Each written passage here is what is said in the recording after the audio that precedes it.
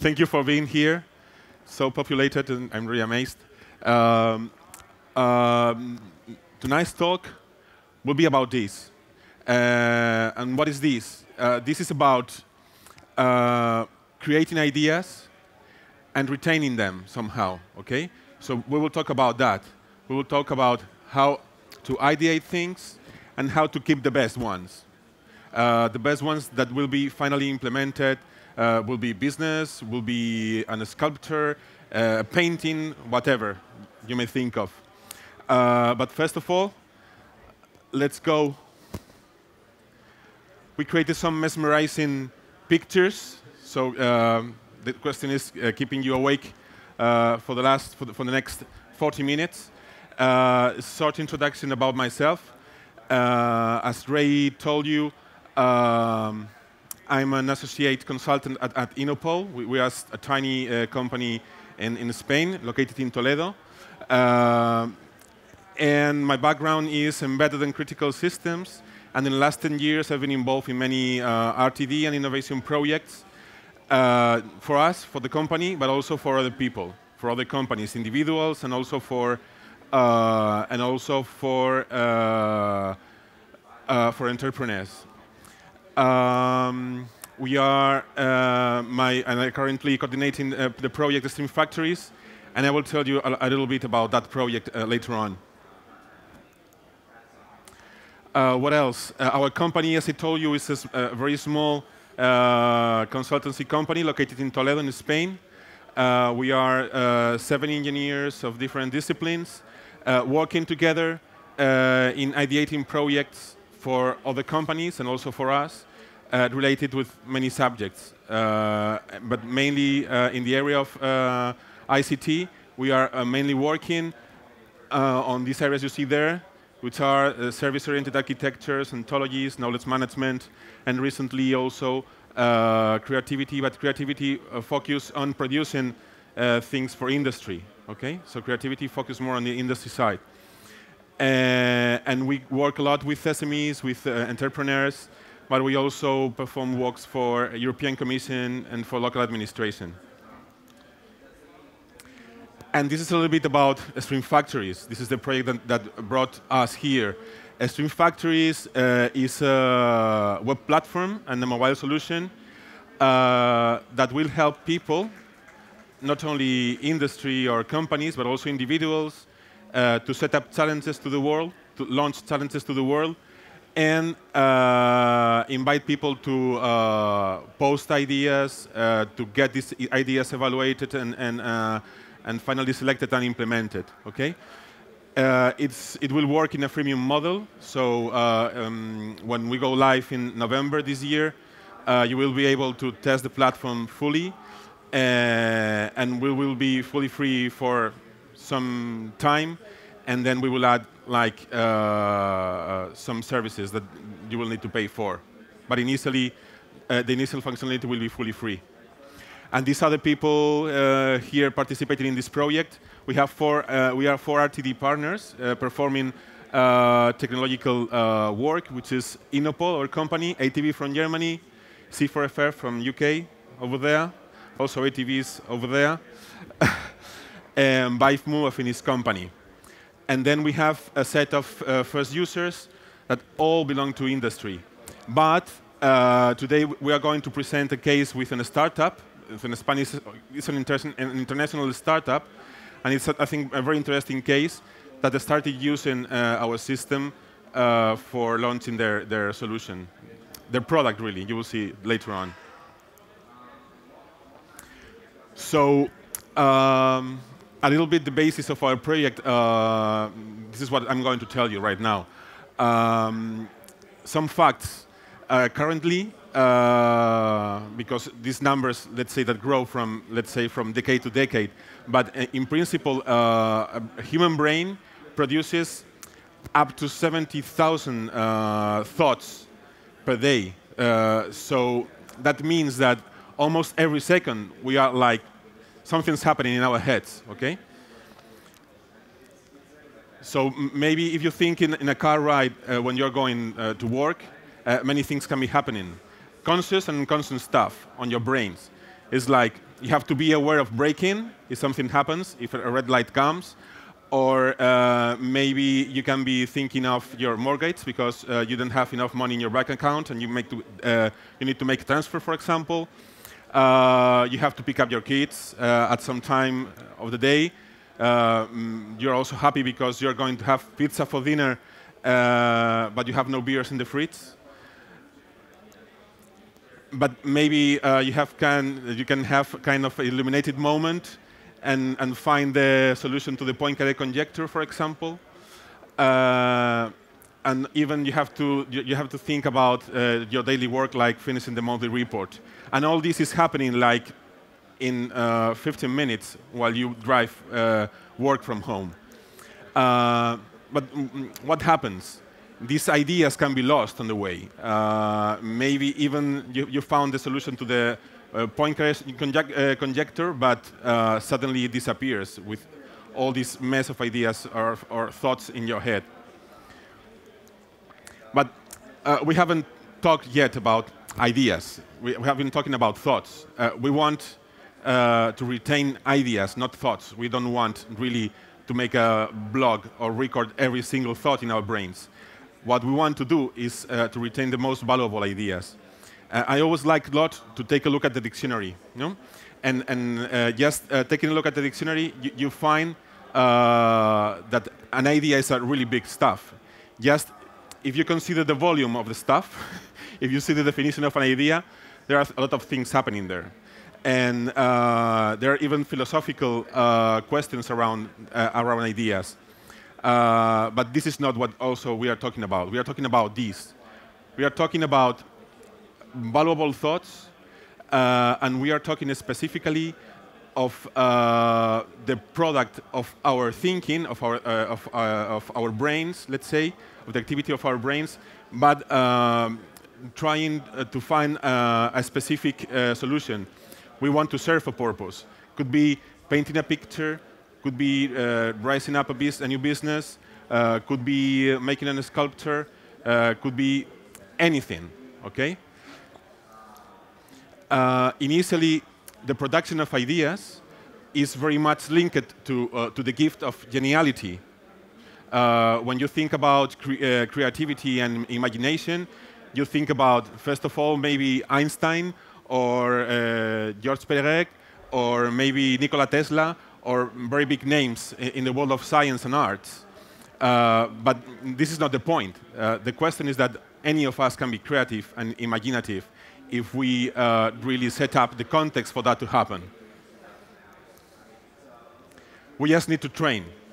Uh, train our brains to be creative and imaginative and then get, uh, get uh, um, valuable ideas, valuable solutions. And we have plenty of tools for that.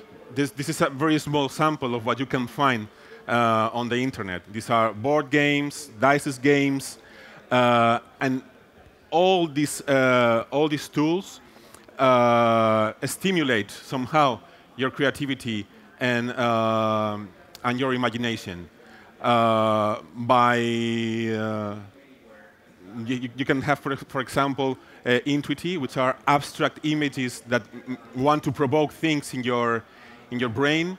Uh, or you have like very complex board games like ThinkCube, uh, or simple uh, creative thinking tools, uh, which are very common like brainwriting, uh, brainstorming, etc. or even other games like Story Cubes, which are very popular in the UK. And all these all these uh, tools have something in common. Um, it helps people uh, to develop a personal uh, skill, but uh, they do that uh, really in a very social way. I mean, this is social gaming. Uh, you involve other people, and these other people help you being more creative and more imaginative. So maybe you think, okay, I don't want to play this because I'm not really very creative or my imagination is crap. But uh, playing with other people around makes you being more creative and pushes you to, to go far, uh, uh, far beyond your creativity and your imagination limits. Uh, another question about creativity and imagination is uh, that you have to, to create the appropriate context for that. Uh, if you are surrounded by imaginative people, creative people, for sure, on the end, you will be more imaginative and creative. And also, if you are in a, in a context which is more, uh, which, is, which promotes somehow your creativity, you will also be more creative. And these are like uh, let's say, a standard, uh, standard examples like Google offices or IDEO or Facebook offices. But being realistic, uh, if you are an SME or if you are an individual uh, trying to start up a business, this is not really possible, okay? Uh, but you can find really places that um, already uh, make that for you. Um, if you want to start up a business, you can go to, to a hub, for example, or to a beta group that presented before Ramon Suarez in, in, in Belgium, for example. And, and these places are full of people trying to do things uh, uh, uh like you. Uh, and they are usually very nice places. So uh, when, when you start conceiving an idea, they, every idea has a full process. It has a lifetime. follows a specific workflow, let's say and uh, and it's really it's very important that uh, before you you, uh, you reach the first step, the monkey, uh, before that even uh, you have first must have struggled a lot your brain uh, before conceiving anything. even you, you, should, you, must have studied a lot around the problem for days, months, even years, until you get to, to a specific solution uh, and then you reach the aha moment, okay? This is uh, an aha moment, but this is not the one we are talking about. This is the one we are talking about.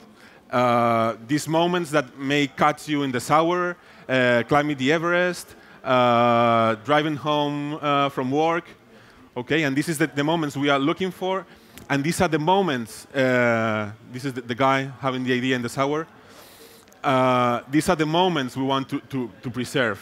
Okay, these ideas are our precious. Okay, uh, and this is what, uh, and for that there are plenty of tools in the market, and we will see some right now for different purposes, and how Stream Factories uh, also tries to, uh, to provide a solution for that.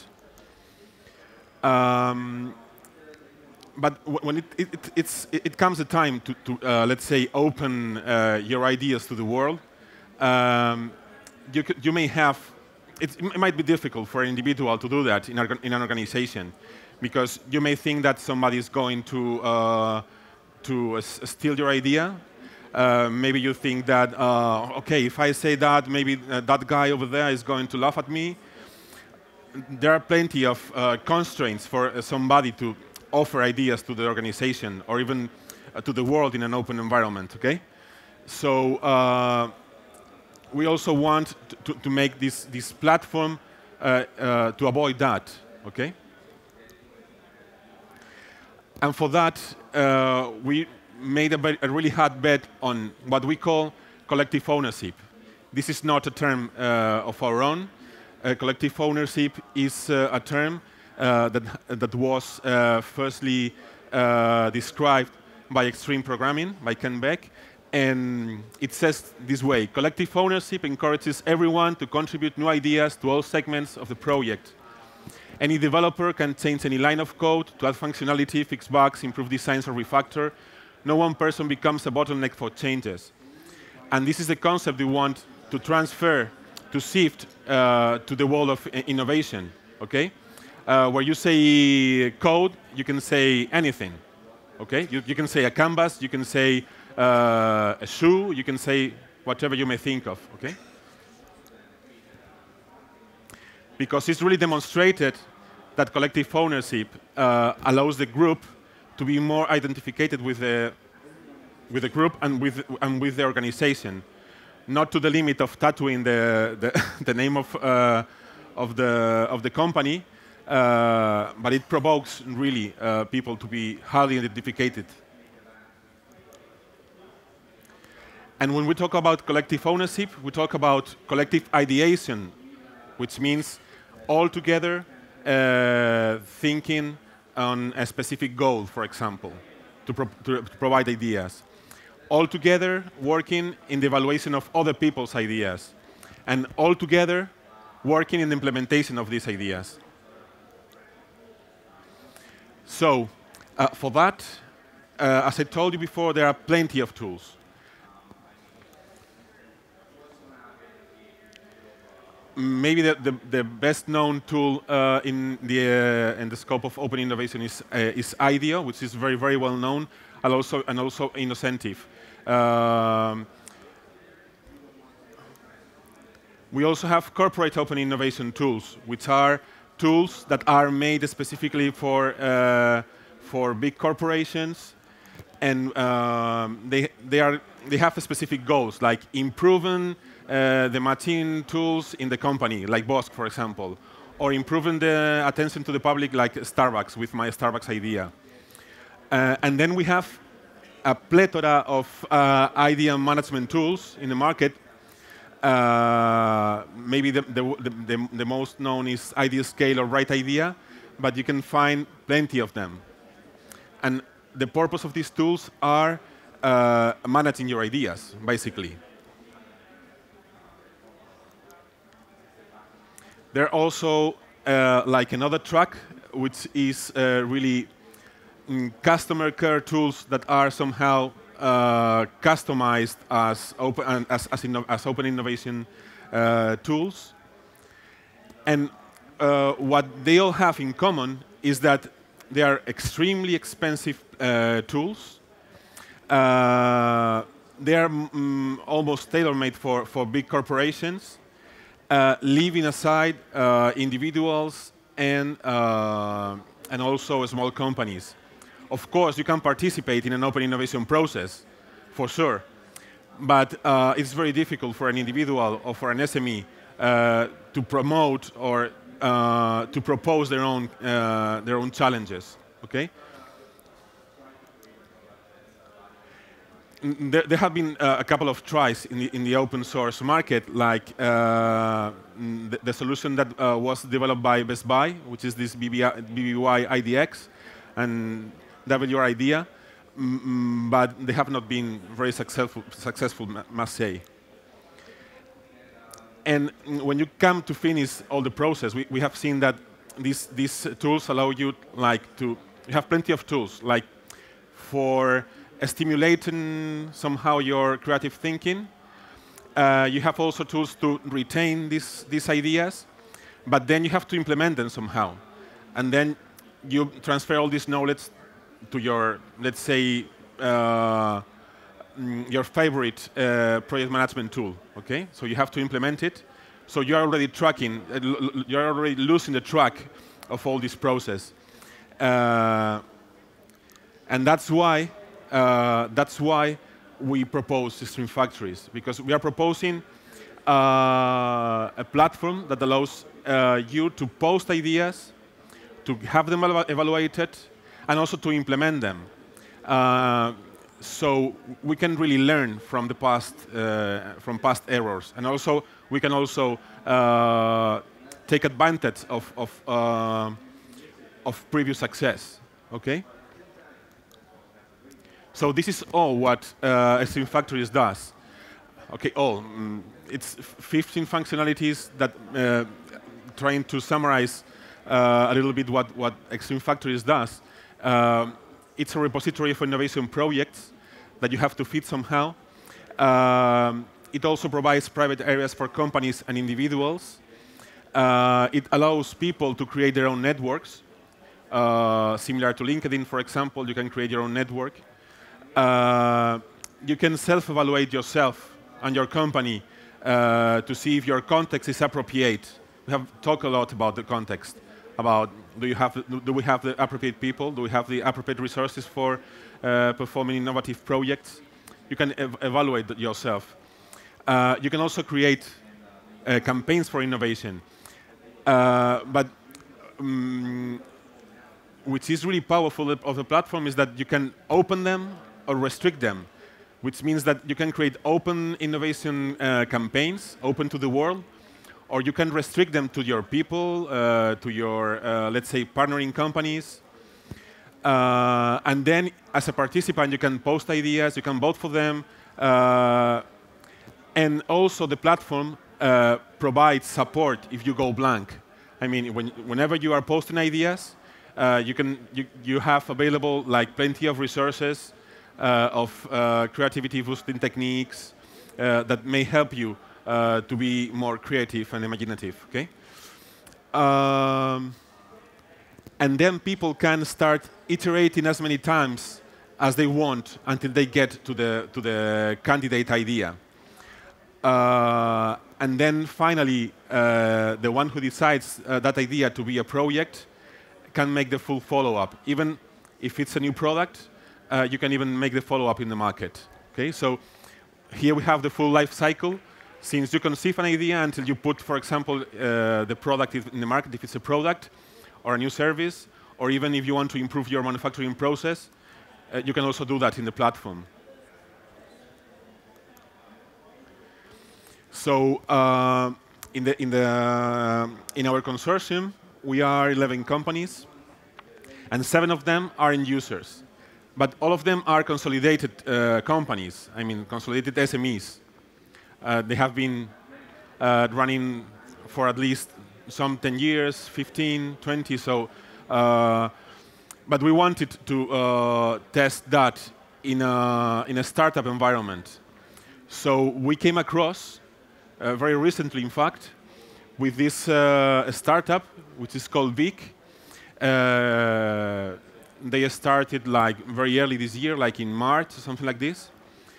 And Big uh, is that. Is Big Wallet is a slim wallet, and these people uh, have been using the platform uh, not from the very beginning, but the, the, case is very curious because these guys which are, located uh, in, Bar in, Barcelona, Mexico, and, and Florida, uh, they didn't really want what they wanted to do. They just knew that they wanted to start up something and that they wanted to create things, stuff like this. They wanted to do things, not didn't want to make software anymore. They are software, a couple of software engineers and, and one designer, and they wanted to create things. Uh, and first they started up a brainstorming, thinking of what to do. Okay? Uh, so they are following uh, the Eric Ries Lean Startup, and, and this, uh, this, uh, this approach uh, tells you that you can start up things uh, from experimentation. Maybe you, you don't have um, very clear what you, what you want to sell, or what you want to do, but you can really create like iterative experiments until you get with the final idea. And this is what these guys have done. Uh, they started with an hypothesis, uh, then they have gone through several uh, iterative product releases, and everything is done by validated learning. What does this mean? This means that uh, every step uh, they, uh, they go beyond, every step they make, is validated by someone, by a supplier, by uh, a set of customers. Uh, so it's very important if uh, you want to follow this approach uh, to involve, uh, this, this, is a little bit the iterative process. Uh, they started with a specific sketch, and then they went through different prototypes until they, they obtain the final product, which is the one, the blue one you see, you see below, okay? And for, for, for managing this, they have involved uh, they have involved the suppliers of the of the elastic band. This is a wallet with elastic band, and this is a way of holding your cards inside the inside the wallet. Okay. Uh, they have involved the suppliers in this process, uh, but also they have involved the customers. They are constantly uh, inquiring people about uh, the boxing of the product, the colors, and this is how they have used uh, Stream Factories. This is a screenshot of our, of our product. So let's say that uh, in a first iteration, they are thinking of what are they going to do. So, so uh, when thinking of that, they only involve the, the, team itself. So this is what we call, uh, let's say, the, the circus of, of influence of Stream Factories. and they keep that, that uh, question just for the staff, okay? Uh, okay, if you're a big company, you can specify a specific uh, departments or even specific people to participate. In this case, just three people, so it's not a big issue. Uh, it's open for all the company members. Mm, uh, the next step was uh, they saw that the elastic band, uh, the first prototype, they used two uh, narrow uh, elastic bands, and this was not working. They, they made a, personal test of that, and it didn't work. It didn't work very well because this, the cards slipped off the of the wallet. So they really needed to solve that. So they wanted to, to add a new elastic band for prototype 2. And they launched that, and for that, they also involve the, the suppliers. Okay? They involve different suppliers uh, in this process, and there uh, they launch specific questions, and, and then uh, finally they got, uh, let's say, uh, they obtained uh, two things. Um, several, of, several ideas from, from, the, from the suppliers and a supplier itself, the one that gave the, the best solution.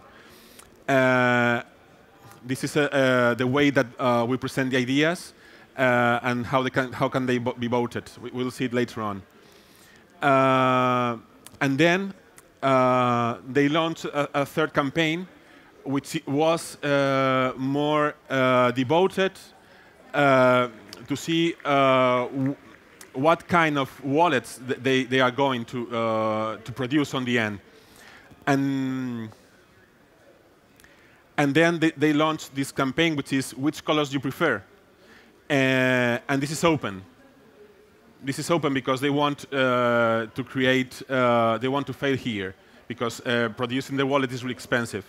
So uh, they launched this, uh, this questionnaire to, to plenty of people to gather the best choices for producing the colors.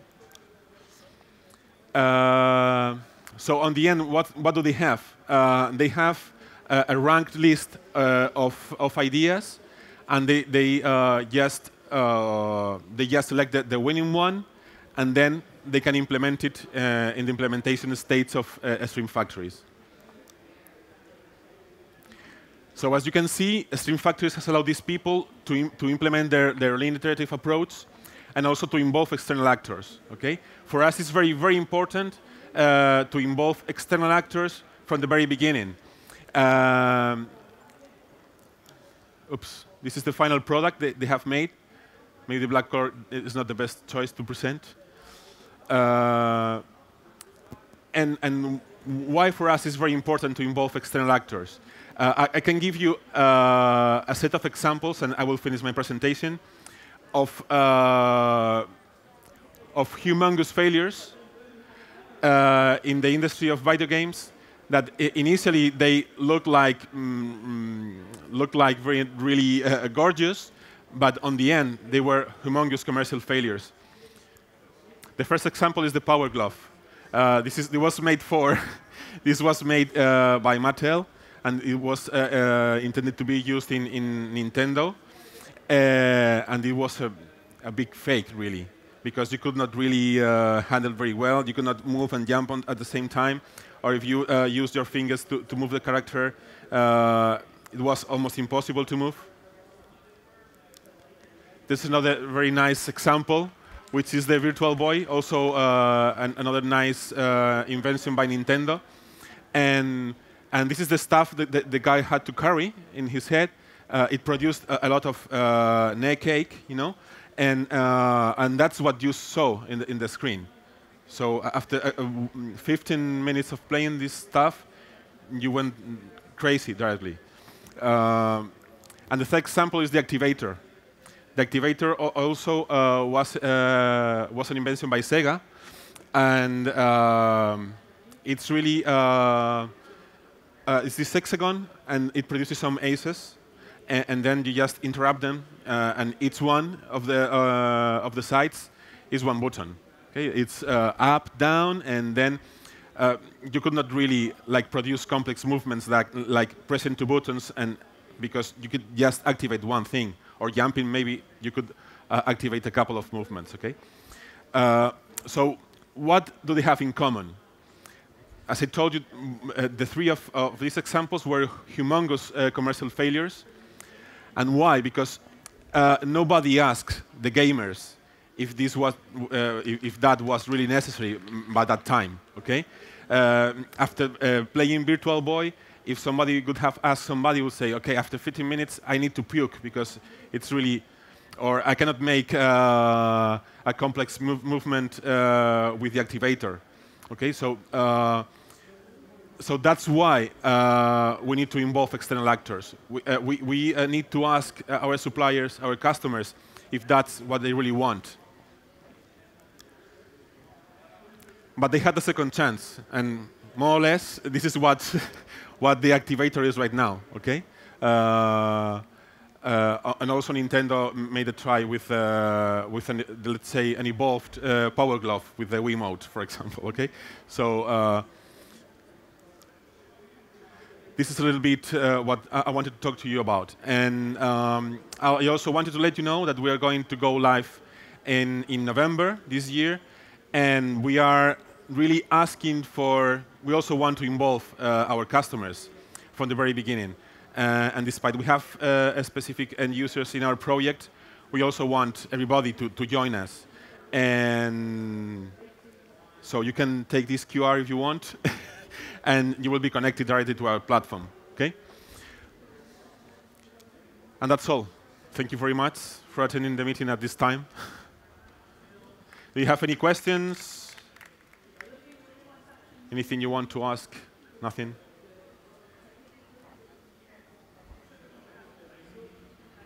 Thank you.